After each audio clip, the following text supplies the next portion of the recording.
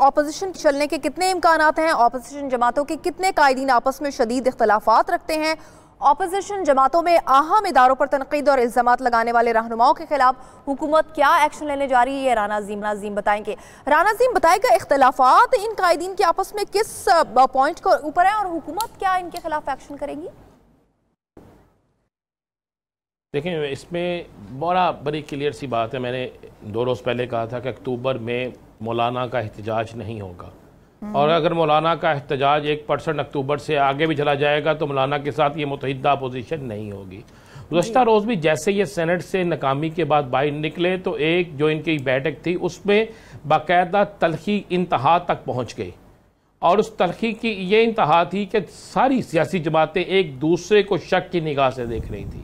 اور ایک دوسرے کے ساتھ اندر دستوں گرے بات تک ہونے تک نوبت گئی۔ بات میں یہ فیصلہ ہوا کہ ہم اپنے اپنے اپنی اپنی جماعت کے اندر سے لوگوں کو سامنے لاتے ہیں جنہوں نے یہ دو نمبری کی ہے اور اس کے بعد جو ہے اگلا فیصلہ کریں گے۔ اور پھر یہ باہر آگے، آپ کل کی ایک فوٹیج دیکھیں ان کی، جس وقت یہ پریس کانفرنس کر رہے ہیں، تو آپ کو اس فوٹیج میں نظر آئے گا کہ ان کے چہرے، ان کی گفتگو ان کا ساتھ نہیں دے رہی تھی۔ اور یہ ایک دوسرے کے ساتھ متفق نہیں تھے۔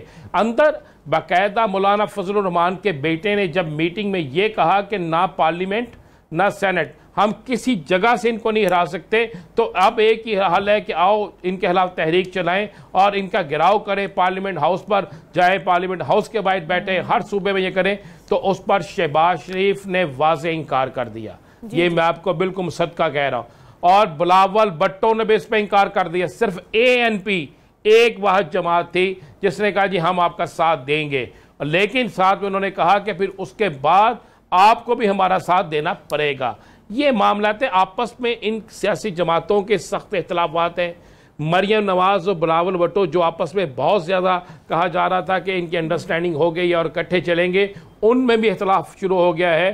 کیونکہ پیپلز پارٹی کے اندر سے بھی کچھ ووٹ جو ہیں وہ ان کو نہیں ملے۔ اور بلاول بٹو نے آخری زہرانے میں یہ مریم سے کہا تھا کہ آپ بے فکر ہو کہ نواز شریف صاحب کو یہ پیغام دیں۔ کہ اس دفعہ ان کا امیدوار چیئرمین سینٹ ہوگا اور نواز شریف کا امیدوار چیئرمین سینٹ نہیں بنا جس کے بعد شہباز شریف تو پہلے ہی ڈبل گیم پہ تھے اور نواز شریف کا امیدوار نہ بننے پر بھی ہو گئے۔ اور تیسری اس میں تیسری چیز جو دوسری چیز جو آپ نے مجھ سے پوچھی ہے دیکھیں اب فیصلہ ہو گیا۔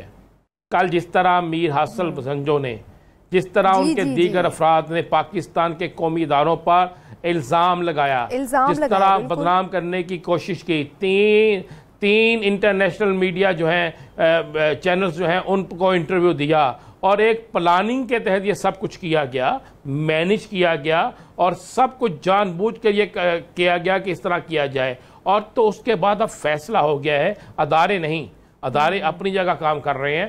حکومت پاکستان جو ہے ایسے تمام عناصر کو چاہے وہ سوشل میڈیا پہ ہو چاہے وہ سیاسی جماعتوں کے رہنما ہو چاہے وہ کوئی بھی ہو اب ان کے خلاف کاروائی ہونے جا رہی ہے۔